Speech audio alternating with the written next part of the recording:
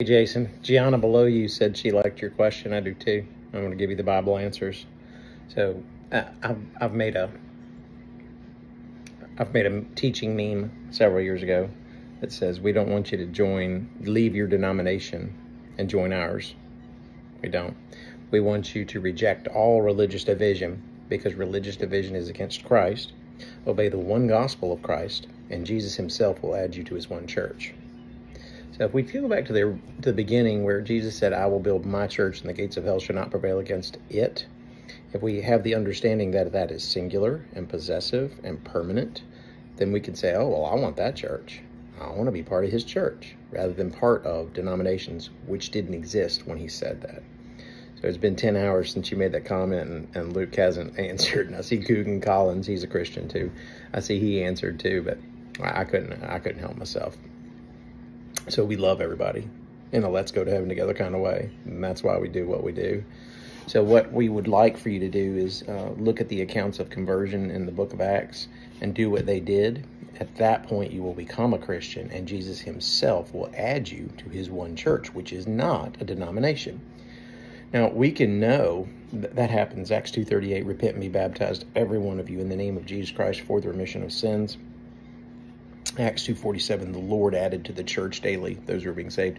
You actually can't join the church of Christ. Uh, you have to be added to it by Jesus. And he does that when you repent and you're baptized. Um, if we look at the Lord's Prayer for unity in John 17, 20 through 23, and then if we look at 1 Corinthians 1, 10 through 13, God speaking through Paul, we learn how God feels about religious division, denominations. Um, that John 17, 20 through 23 prayer recorded for us, neither pray I for these alone, but also for those who will believe in me through their word, that they all may be one, Father, as you and I are one, so that they may be made perfect in one. And he just keeps going on and saying one, one, one. He wants us to be together, wants us to be one. Well, denominations are divisions. They think that they are divisions of Christianity. But once you have divided, once you say, I'm this kind of a Christian, you cease being a Christian. There are no hyphenated Christians. There aren't, there are this is going to sting. There are no Baptist Christians. There are no Protestant Christians of any kind, no Wesleyan or Lutheran Christians. There's no Catholic Christians or Orthodox Christians. There are Christians, those who have done what Jesus said they must do for salvation, and then there are lost people they, they might have invited Jesus into their heart or accepted Jesus as their personal Savior or said a sinner's prayer or wanted to be saved like the thief on the cross or by faith alone. But those things aren't in the Bible. And Jesus didn't offer that way of salvation. Jesus did say, He that believes and is baptized will be saved in Mark 16 16. So he's not saying that you have to be part of this denomination. He's saying you can't be part of a denomination and be saved. Instead, you have to be part of Jesus' church the one that he promised to build in Mark in uh, Matthew 16, 18, the one that he promised would always stand. It's still here. The one that he said what he would build, he said the gates of hell shall not prevail against it. It's here. So let's uh, shore up that evidence about religious division and how Jesus feels about it.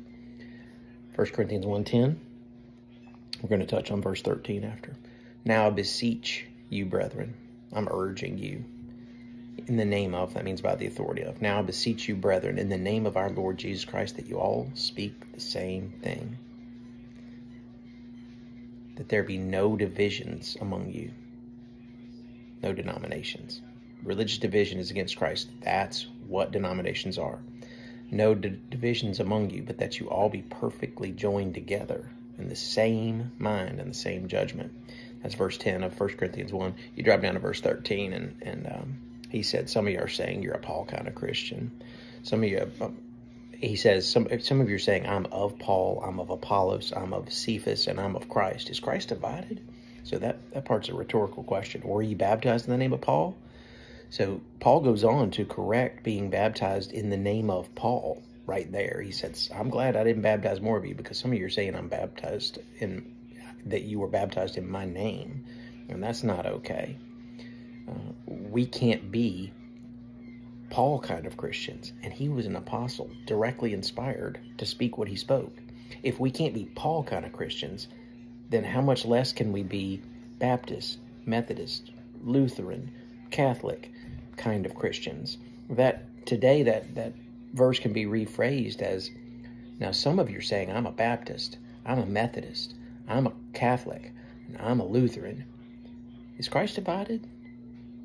So Christ isn't divided, and if you divide the body, it kills the body, and it's no longer part of Christ once you have divided into a denomination. So we're not asking you to uh, leave your denomination and join ours. We're asking you to stop practicing what hurts Jesus, which is religious division. No divisions among you, 1 Corinthians 1.10. No denominations among you.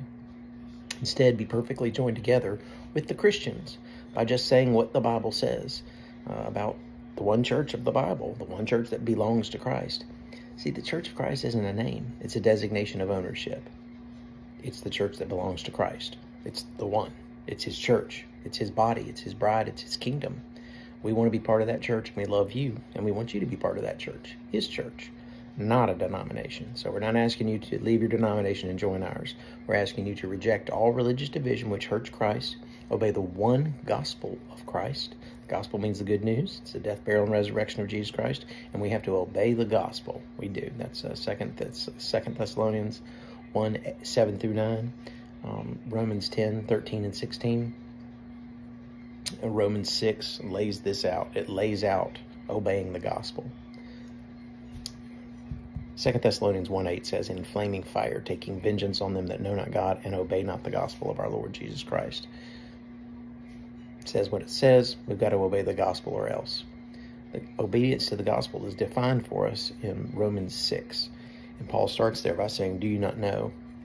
Don't you know this? Only as many of us as were baptized into Jesus Christ were baptized into his death.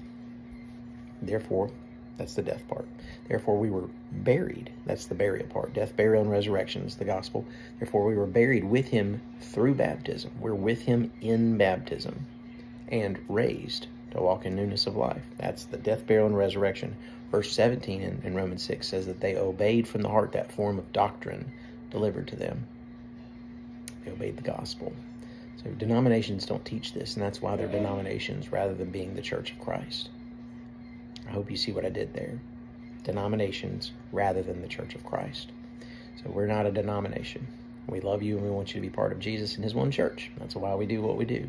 Luke, who you're responding to, he teaches the truth. And I would encourage you, especially if you know him, eh, I encourage you to, to get with him. He's a sound teacher of the truth. And, and if you're close to him physically, oh yeah, man, meet him. Go go sit down for some coffee and talk about it. Open up your Bibles and see what God has to to say about this. What what God has uh, planned for your life. Yeah, yeah. I hope that's a good answer for you. We love y'all, like you and, and the person who said that they liked your question. I like your question too. So, thank you. My name's Paul. I'm a Christian. I did exactly what those people did in, in the book of Acts, Acts chapter two. I repented and I was and I was baptized, and Jesus put me in His church, and that's what we want for you too. Thank you.